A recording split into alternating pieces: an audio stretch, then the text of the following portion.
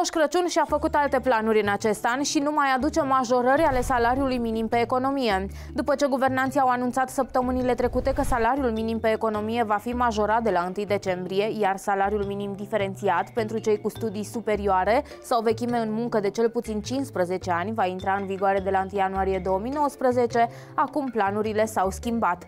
Ministrul Finanțelor Publice, Eugen Teodorovici, a anunțat deja că salariul minim rămâne și în luna decembrie la aceeași valoare valoare, 1900 de lei brut, respectiv 1162 de lei net. Ministrul Teodorovici a spus că majorarea salarială se amână din cauza unor discuții pe care guvernul încă le are cu sindicatele și cu angajatorii. Va trebui să fie decizia guvernului vis-a-vis -vis de data la care salariul minim pe economie se va aplica în România și cred că... Păi clar că 1 decembrie nu mai e viabilă, că mai avem o săptămână. Vedeți cum de multe ori aveți și răspunsul la întrebări? Păi aș vrea să primim și de la dumneavoastră. Știți că a fost discuție. Doamna prim-ministru a anunțat foarte clar că e o discuție între, la nivel de guvern cu sindicatele, cu mediul de afaceri uh-huh. și ca și principiu și concept, este corect ca în timpul jocului regulile să fie schimbate cât mai puțin. Uh, și, și invocând mereu acea predictibilitate pe care trebuie să o respectăm, trebuie să arătăm foarte clar mediul de afaceri că suntem un partener uh, serios și uh, care sprijină această zonă a economiei, înțelegând cu toții, chiar și cei de stânga sau mai ales cei de stânga, că un mediu economic, mediu economic puternic este cel care îți asigură uh, și redistribuirea unor, unei părți a, a veniturilor și către partea mai, mai puțin fericită a populației, adică în zona de, de, de pensii și nu numai. Este o logică, zic eu, de bază.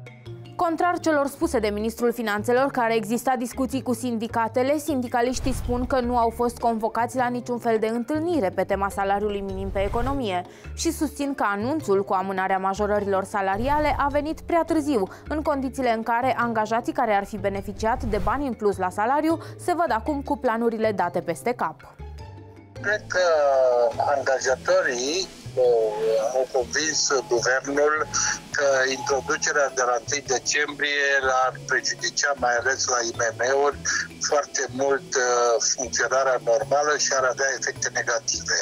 Pentru că altfel nu înțelegem, unul, uh, propunerea nu a venit de pe partea sindicală cu devansarea salariului minim, ci a fost o propunere politică a PSD-ului și faptul că a renunțat uh, la acest lucru arată că se pare că propunerea n-a fost suficient de bine uh, gândită și a fost mai mult un entuziasm uh, cu caracter uh, populist național.